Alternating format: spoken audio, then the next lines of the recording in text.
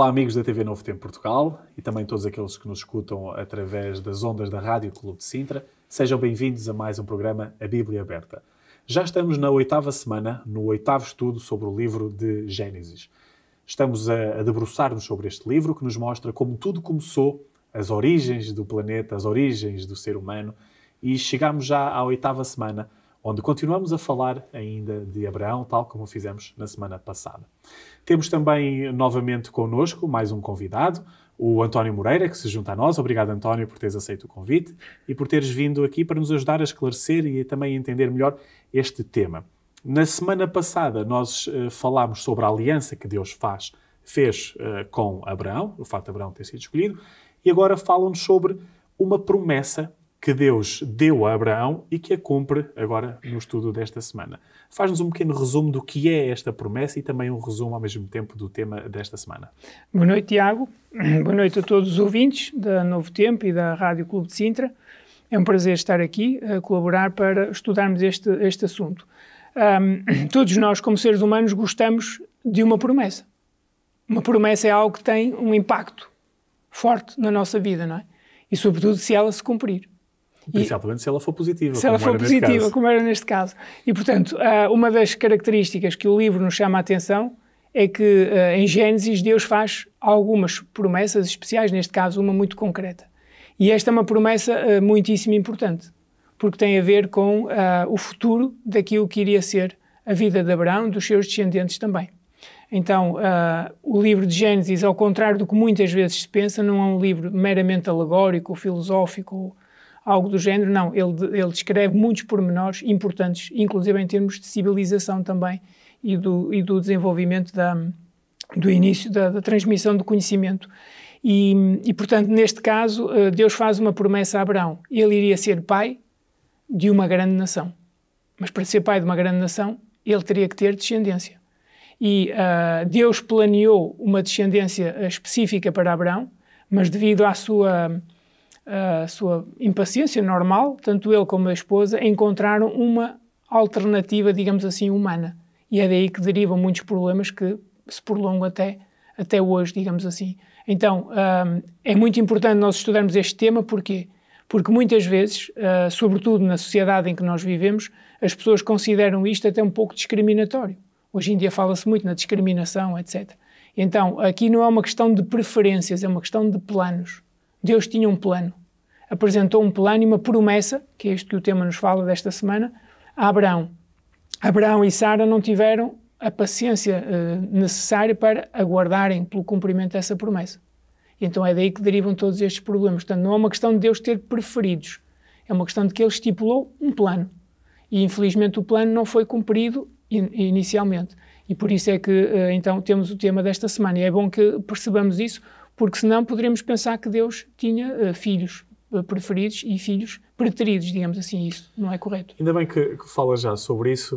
Uh, e nós conhecemos, Abraão é conhecido como sendo o pai da fé, da fé, e ficou conhecido para a posteridade como o pai da fé. Em Hebreus 11, Paulo fala, uhum. dedica bastante tempo a falar sobre Abraão. Mas Abraão é conhecido por uma característica onde ele falhou. Porque Deus tinha prometido que ele seria pai de uma grande nação, uhum. Depois de Abraão passa a ser conhecido como o pai da fé, mas ele nesse momento não teve fé porque não, não se fortaleceu nesta promessa de Deus e tentou fazer as coisas um bocadinho à sua maneira. Sua Falhou maneira. nesta fé pela qual ele fica conhecido tão mais Ele fica frente. conhecido, exatamente. Agora, um, de facto, uh, ele, ele demonstrou e teve, e, a, e a, o tema desta semana vai exatamente, vai um, frisar com muito ênfase uh, esse, esse aspecto da, da, da, da prova a que Abraão foi foi sujeito, mas nós também temos que compreender, Abraão tinha já uma idade muito avançada e humanamente falando, a própria Sara, não é? Que já estava também com uma idade muito avançada, humanamente falando, não era possível eles terem filhos, não é? Não era possível só mesmo pela intervenção de Deus. E é aí que ele falha é aí que ele fé. Falha, na fé. Uh, e então, é muito interessante porque depois, a partir disso, vai afetar todo o seu uh, relacionamento familiar, futuro e toda a forma como, como aquele processo foi, foi eh, desenvolvido. Mas há, no livro de Gênesis, sobretudo, há um ponto que hum, eu gostaria de realçar, porque nós falamos aqui, uh, ao longo de, de, todas estas, uh, de todo este livro, vamos falar de várias pessoas que tiveram um papel relevante E há um, há um detalhe que eu gostaria de partilhar com todos os amigos, que é o seguinte, é que todas estas pessoas tiveram uma vida longa. Mas a maioria, a maioria deles, ou quase todos, tiveram uma morte curta. Eles, por exemplo, fizeram discursos, fizeram, tomaram decisões e pouco depois fecharam os olhos. Enquanto que hoje, devido ao estilo de vida que nós temos, a, a nossa vida é mais curta em relação à deles, mas a nossa morte é, é mais, mais longa. longa. E é uma morte muitas vezes com sofrimento. É um, é um aspecto que as pessoas devem refletir, porque é exatamente no livro de Gênesis que nós temos os princípios para a nossa saúde. E por isso é que nós devemos refletir se realmente isto então é só uma alegoria, porque é que temos aqui tanta sabedoria uh, impressa para, para, para nós hoje. Vamos começar já então com uh, o, o efetivar desta promessa uhum. um, que, que Deus fez a Abraão. Que promessa é esta? Uh, então, Deus promete a Abraão que ele teria um filho. Realmente uh, vem a nascer esse filho da promessa, a que chamaram Isaac. Abraão já tinha tido o outro filho, Ismael, com uma das servas, a serva egípcia, uh, portanto, que servia naquela família, que era Hagar. Um, e aqui é muito interessante nós uh, aprofundarmos os detalhes, porque uh, há um momento em que realmente a Hagar é, no fundo, expulsa de casa, digamos assim, do seu senhor. Mas é muito interessante que quando ela está no deserto e pensa que vai perder o seu filho, Deus vem exatamente prometer também a ela que o seu filho também iria ser pai uh, de uma grande de, de, muitas nações ou de uma grande nação. Portanto, nós aí vemos, e desculpa interromper-te, nós aí vemos uh, o, o, estrondoso amor que Deus de tem Deus. por nós, porque mesmo quando nós fugimos aos seus planos e decidimos por nós próprios e criamos problemas para outros com essas decisões, Deus ainda assim Exatamente. estende a bênção a esse fruto dos nossos erros. Exatamente. Portanto, isto é só para nós percebermos que nesta história não há nenhuma discriminação, não há aqui nenhuma uh, uh, intervenção incorreta da parte de Deus, pelo contrário. Apesar de ter havido um erro humano, Deus vem para, digamos, apoiar aquela, aquela mulher. Embora também a Bíblia nos diga que ela depois se tornou orgulhosa com a sua, a sua no fundo, a sua senhora Sara, neste caso. Então, Deus promete um filho e realmente Isaac vem a nascer. E, e, por isso é que o próprio nome dele também tem essa simbologia, porque já não, não era uh, humanamente expectável que ele, que ele nascesse e, Isaac nasceu. E, portanto, um, entretanto, ele cresce, ele cresce e um, quando ele já, já estava na, na, adolescência, então surge esta prova que é também uh, muitas vezes mal compreendida, sobretudo na sociedade em que, atual em que vivemos, secularizada e que, que muitas vezes procura um, deturpar um pouco estes fundamentos uh, bíblicos sem os aprofundar e sem os conhecer. Então Deus faz, uh, coloca Abraão à prova e é por isso que o primeiro tópico do tema desta semana, o Monte Moriá. E é muito interessante porque, de acordo com aquilo que os especialistas uh, e, os, e, os, e, os, investigadores uh, pesquisam, o Monte Moriá seria onde atualmente será Jerusalém. Portanto, esta, esta experiência, esta, pro, esta prova a que Abraão é sujeito, no fundo, é uma, uma simbologia para aquilo que mais tarde iria acontecer com o próprio Jesus, Moriá. Então ele estava a cerca de 80 km, mais ou menos 80 km de Jerusalém, numa localidade que era Berseba, e demorava exatamente os três dias de caminhada. E aqui é, é, relevante porque ele, nesses três dias, ele tem que pensar e tem que refletir e tem que amadurecer aquele pedido uh, de sacrificar o seu filho, mas ele realmente oferece para isso. Agora, uh, o, o, tema também nos chama a atenção para isso. O sacrifício de, de, de filhos, das crianças, era absolutamente proibido, porque isso era uma prática pagã. E por isso é que coloca-se a questão, então, mas como é que se era proibido, como é que Deus vai pedir a Abraão para fazer uma coisa destas? Porque aqui realmente o objetivo era verificar se Abraão estava ou não um, entregue, digamos assim, à obediência a Deus. E aqui então Abraão vai demonstrar exatamente essa fé pela qual uh, fica a ser conhecido como o pai da fé, porque isto, se nós nos colocássemos nesta situação, todos os que temos filhos, qual de nós seria capaz de, de digamos, de aceitar um, um pedido destes seria algo de, tremendamente uh, difícil, não é? se não impossível para nós. E é por isso que Abraão realmente vai estes três dias com o seu filho. E, mas a, a, a, prova realmente existiu, mas nós temos que observar todos os detalhes e o tema chama-nos a atenção para isso. Quem providenciou o cordeiro? Foi exatamente Deus que lá colocou aquele cordeiro que simbolizava e apontava para o sacrifício de Jesus mais tarde. Exatamente. Deus então pede este sacrifício a Abraão, sacrificar o seu, filho, seu filho, o filho da promessa da que promessa. tanto tempo esperou, esperou, esperou por ele, uh, e que apesar de ter uh, de Abraão ter uh, tomado as rédeas do seu próprio rumo, Deus acaba na mesma por cumprir a, uhum. a promessa que deu, pede para sacrificar este este filho e mesmo no momento, o que é que acontece? Uh, Deus intervém, chama Abraão e impede que realmente, porque o objetivo de Deus, no fundo, não era o sacrifício de Isaac, até porque isso era uma prática Exatamente. condenada, não é? E porque era uma prática pagã.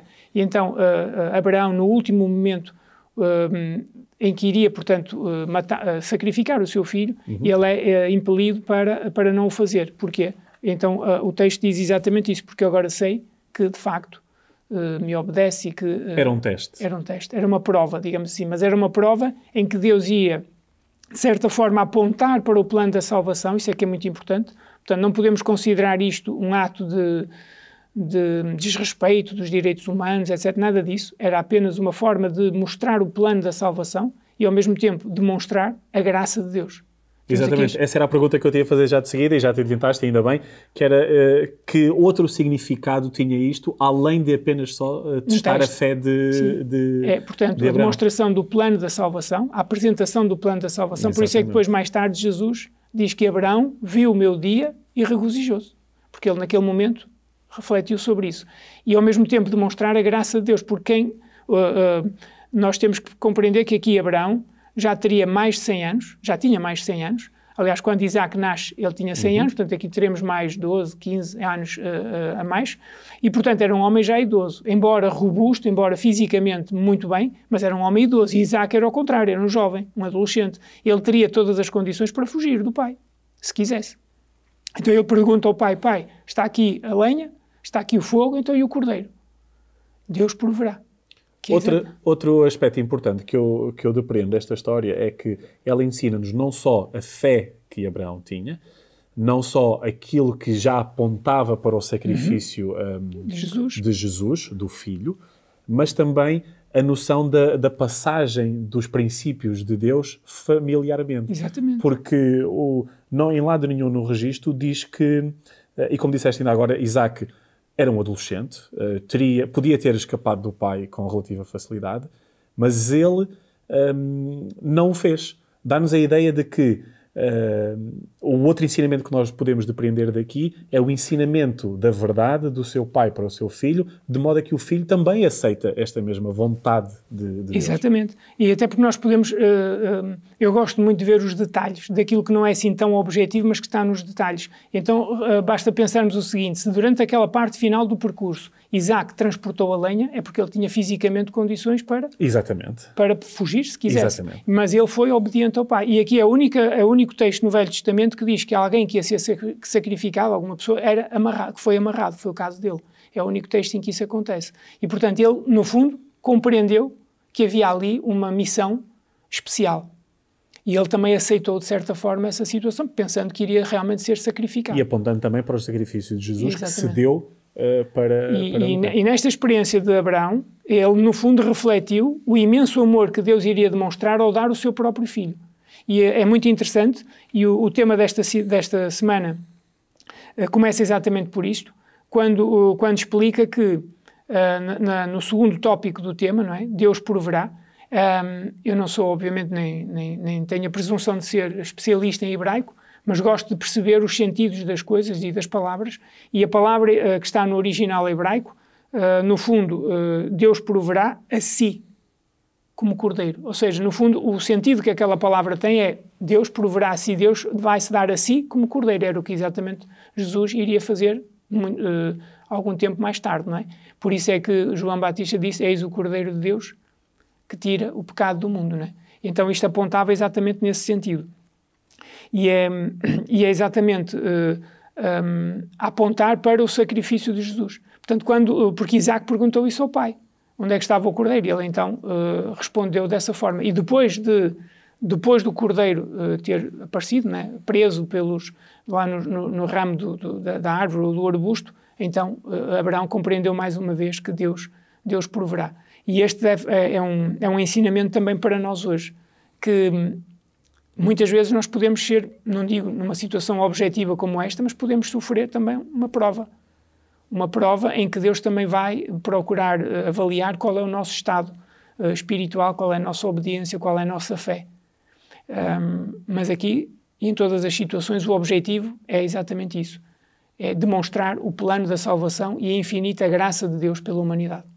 Logo após este acontecimento, o estudo da nossa, o estudo que temos esta semana uh, transporta-nos para o, a morte de Sara, a esposa de, de Abraão, e mãe de Isaac. Até que ponto é importante nós termos a noção de quem foi Sara, um, daquilo por que ela passou, um, importante ao, ao, ponto de nós estarmos agora a debruçar-nos sobre a, a sua morte. É, é muito importante porque Sara tinha um uma maneira de ser, uma forma de, ser para as mulheres daquela época muito, muito diferente do habitual.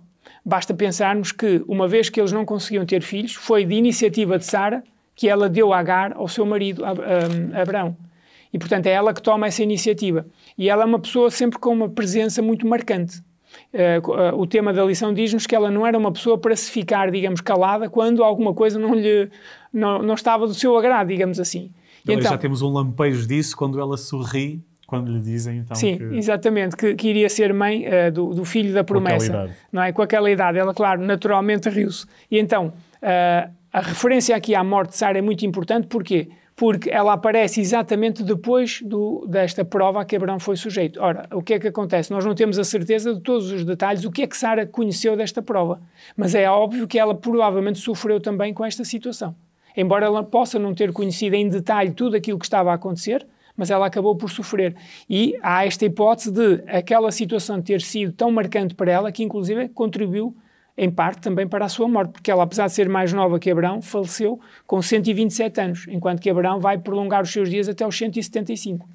Portanto, a morte de Sara, atendendo às características que ela tinha, uh, em termos de personalidade, é muito importante porque fica aqui exatamente encadeado entre uma situação e outra, entre um tema e outro da, da, do que estamos a estudar nestes capítulos centrais aqui do, do livro de, de Gênesis. Sara foi uma mulher muito marcante e uh, é também muito interessante, e o tema chama-nos a atenção para isso, que mais tarde, quando, quando vai, uh, quando, uh, portanto, quando se vai, que é o, o tópico seguinte, uma, quando se vai proceder à escolha de uma esposa para Isaac, aqui temos um pouco aquilo que, que o Tiago estava a referir há, há, momentos que é, um, além da questão da obediência que ele teve com o pai, aqui estamos na questão de, de, da adolescência, né, dos 15 anos, por aí, uhum. algo por aí. Neste caso, um, Isaac já estaria com cerca de 40 anos, mais ou menos, portanto já estava com uma idade mais avançada, e um, era necessário proceder à escolha de uma, de uma esposa. E aqui também é um conceito que socialmente hoje não é muito bem aceito, a questão dos pais escolherem a esposa para os seus filhos. Uh, o que é certo é que Abraão vivia num meio rodeado pelo paganismo e ele não queria uma esposa para o seu filho daquele meio. E então providenciou que o seu servo fiel, digamos o mordomo, o, o administrador, digamos assim, principal dos seus bens, fizesse uma viagem muito longa, de vários dias, à, à região onde estava a família, digamos assim, Uh, alguns dos seus familiares e foi providenciar uma esposa para Isaac. E então o que é que acontece? Quando essa esposa aceita, e já, e já, vamos também analisar isso, quando essa esposa aceita o seu chamado, e mal ela uh, chega, digamos, à região de, onde Isaac se encontrava, diz que uh, Isaac foi consolado pela morte da sua, da sua mãe. mãe. E depois vamos ter outro episódio algo parecido a este, mas em relação a Abraão. Ou seja, uh, se foi consolado é porque a mãe era uma pessoa muito marcante. Portanto, a, a, a morte de Sara aparece aqui referenciada entre uma história e a outra história, no fundo, é Elas estão relacionadas. Estão relacionadas. Exatamente. O que prova que ela foi uma, uma, um personagem muito marcante. Não foi apenas, uh, apenas uma, uma, uma, uma, pessoa qualquer. E como é que nós vemos isso? Lá estão os detalhes do estudo da palavra de Deus. Sim, o próprio, o, a própria eh, Bíblia é, refere, é a única mulher Exatamente. que refere pelo número de dias, anos que, que, viveu. É a única. Portanto, significa que foi alguém marcante, marcante, na história. Marcante. E então, a, a escolha da esposa para Isaac Tal como no, na, na, experiência do Monte Moriá, Isaac não desobedeceu ao pai, ele aqui confia na sabedoria do pai Exatamente. e confia também na, no plano de Deus. Ele pensou: o meu pai é um homem de Deus. Se ele está a providenciar isto, ele saberá e Deus irá prover a esposa. E, portanto, um, nós sabemos por outros dados que foi um dos casais em que realmente se amaram verdadeiramente. Porquê? Porque foi, este, esta união entre, entre Isaac uh, e a sua esposa Rebeca foi uma escolha de Deus. E, portanto, eles, uh, depois o texto vai dizer que mal Rebeca chega ao local, eles vão precisamente para onde? Para a tenda para de Sara. Cá está outra vez a personagem Sara. E, portanto, uh, ela realmente, é, mesmo na sua ausência, após a sua morte, ela continua a ser marcante.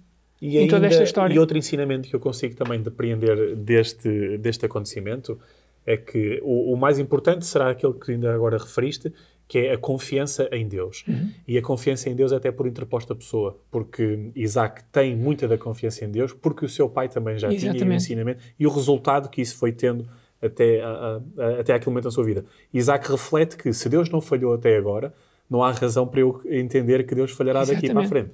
E outra coisa hum, importante também é a razão pela qual uh, Deus quis uh, e que hum, a esposa de Isaac viesse de determinada família ou com determinados princípios. Que ensinamento é que nós podemos retirar para, para nós hoje em dia? A importância de, de, não sujeitarmos os filhos a uma influência a uma influência hum, não cristã ou não, não espiritual, digamos assim. Porquê? Porque o problema, a, a preocupação de Abraão é que uh, todos os povos que estavam ali à sua volta eram povos pagãos. Um, Ou e, seja, portanto, a influência, a influência seria espiritual, bastante... Exatamente. É? Aliás, nós temos várias advertências depois nos livros posteriores é? do, do, Velho Testamento, do precisamente para que eles não se casassem, não se dessem em casamento com os filhos daqueles povos, uhum. precisamente por causa disso. E Isaac compreendeu isso, aceitou a escolha, aceitou o plano de Deus e realmente foi, foi neste caso, foi, foi uma vantagem para ele. Após este processo, temos um novo, que é uma nova esposa para o para Abraão. Abraão. Exatamente. Então, Abraão ficou viúvo, ele ainda estava fisicamente uh, bem, uh, apesar da, da, idade. Para nós hoje é um bocado difícil de compreender, com, compreender com, estas idades. O que é certo é que a palavra de Deus nos diz que, que ele de facto foi consolado por uma outra, uma outra esposa, digamos assim. O, o, capítulo 25 de Gênesis diz: Desposou Abraão outra mulher, que chamava-se Quetura. E então nós vemos aqui que, apesar da idade dele, ainda teve só desta mulher, teve seis filhos, mais seis filhos. E portanto um, obviamente que havia ali um, um, filho da promessa, não por ser o, o filho preferido no sentido global da, da, situação, mas era o filho da promessa, exatamente porque por mesmo isso. assim, mesmo após ter mais filhos, Abraão continua a fazer esta distinção. saudável distinção Sim. entre os filhos. Exatamente. Não por uma questão uh, negativa, digamos assim, mas por uma questão do plano de Deus. Portanto, os outros filhos não foram prejudicados, mas este era o filho que Deus tinha planeado. E é a partir daí que, de facto, vem toda uh, depois a sua, a sua descendência. E por isso é que surge aqui, de, de facto, essa referência de que Abraão manteve sempre muito clara esta, este plano de Deus. E isto também é muito importante, ou seja, ele não vacilou naquilo que eram os princípios que Deus tinha estipulado. E por isso, para o cumprimento desta, deste plano, digamos assim. O que eu te queria perguntar agora, António, era de que modo, e até já a nível, uh, a nível de conclusão e de aplicação prática para, para a nossa vida diária, o nosso relacionamento com Deus e também com os nossos familiares e com quem nos rodeia, é, até que ponto é que é importante nós termos a noção de que esta intransigência de Abraão em não fugir aos, aos, aos ensinamentos de Deus e à vontade de Deus e àquilo que Deus lhe dizia para fazer, até porque ele já tinha visto o resultado que, que a sua própria vontade e a sua própria ação tiveram na sua vida, até que ponto é que nós devemos refletir nesta intransigência de Abraão em não desarmar no que diz respeito àquilo que Deus quer e àquilo que Deus lhe pediu para fazer? Ora, isso é exatamente uma, uma, um tópico para a conclusão do tema desta, desta semana, porque aqui os ensinamentos eh, de Abraão são exatamente, além da sua fé, é exatamente essa obediência, mas não uma obediência legalista, digamos assim, mas sim uma obediência pela confiança, pela fé que ele tinha em Deus. E no fundo, nós temos que nos colocar nessa situação, porque no fundo, Deus também tem uma promessa para cada um de nós.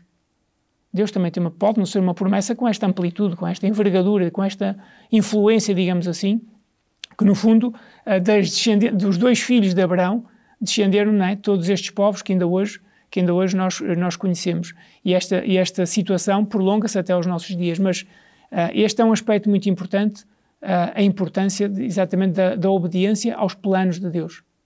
E assim como Deus tinha planos para Abraão, assim como tinha uma promessa, o seu filho prometido Isaac, Deus também tem planos para cada um de nós.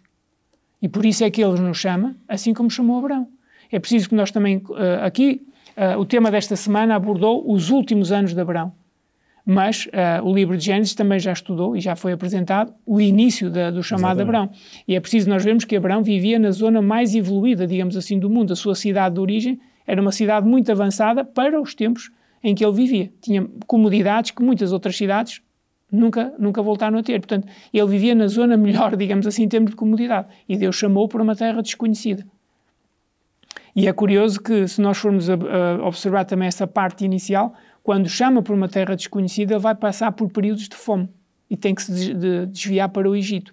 E pensamos, então, se era a terra prometida, se era a terra que estava reservada para ele, porque é que foi apanhar períodos de fome? Exatamente. E, portanto, mas Deus tinha uma promessa. E as promessas de Deus nunca falham. Nunca falharam e nunca vão falhar. Agora, a aplicação, a segunda parte da, da pergunta do Tiago, a aplicação é exatamente isso. É que o que, é que, o que é que Abraão teria pensado quando chega à terra que Deus lhe diz é aqui e de repente passa por fome e tem que se desviar para o Egito? Ele podia ter duvidado. Quando uh, ele espera aqueles anos todos, entretanto nasce o filho e Deus lhe pede para sacrificar o filho por quando, pelo qual ele tanto esperou, ele podia ter duvidado. Então, nós também podemos aplicar isso à nossa vida. Nós também temos um também existe um plano de Deus para cada um de nós. E por isso nós também, que tal como Abraão, devemos, ainda que não compreendamos, porque ele não compreendeu tudo, ele não sabia todos os detalhes, mas ele avançou pela fé. Num mundo que cada vez mais nos pede para sermos flexíveis, uh, pseudo-tolerantes uhum. e muito abrangentes, politicamente corretos. politicamente corretos, aquilo que nós aprendemos nesta semana é de que ser inflexível não é necessariamente uma coisa má. Não, se for por um bom princípio. Exatamente. Ou seja, se for por uma questão de fidelidade, se for por uma questão de obediência, não é, não é negativo, claro. Se for por um bom princípio que, que justifique. António, muito obrigado por Parece. ter estado connosco a estudar uh, o que estes últimos anos de Abraão uh, nos trouxeram para a nossa aplicação prática diariamente. Hoje. Queridos amigos da TV Novo Tempo, muito obrigado e da Rádio Clube de Sintra também. Agradecemos uh, a vossa presença desse lado e marcamos encontro já para a próxima semana, o nono estudo deste livro de Gênesis. Até à próxima semana.